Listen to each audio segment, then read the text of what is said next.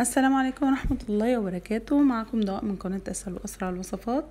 آه النهاردة وصفتنا وصفة لذيذة جدا وسريعة. آه بروستة الدجاج المقرمش.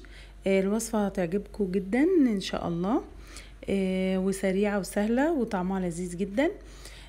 نقول مع بعض المقادير. معانا هنا دجاجة وسط.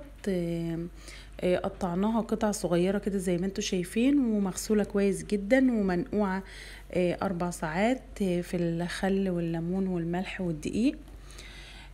بعد كده شققتها بالسكينة شقوق صغيرة كده.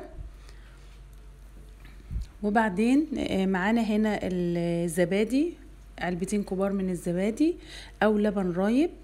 زي ما تحبي. وبعد كده معانا هنا مجموعة من التوابل آه على حسب رغبتك بقى.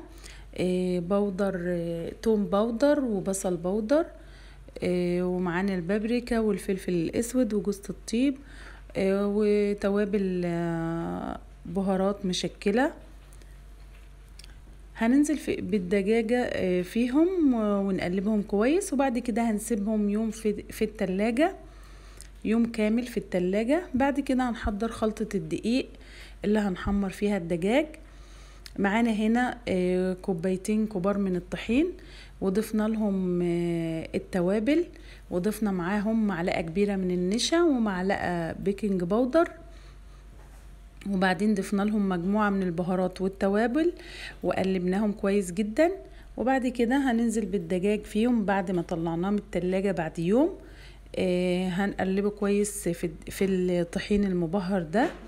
وبعد كده هنحمر الزيت. هنقدح الزيت كويس جدا. وبعد كده نحمر الدجاج زي ما أنتوا شايفين كده. إن شاء الله الوصفة تعجبكم. لو بتحبي الوصفات السهلة والسريعة اشتركي معنا وفعلي الجرس.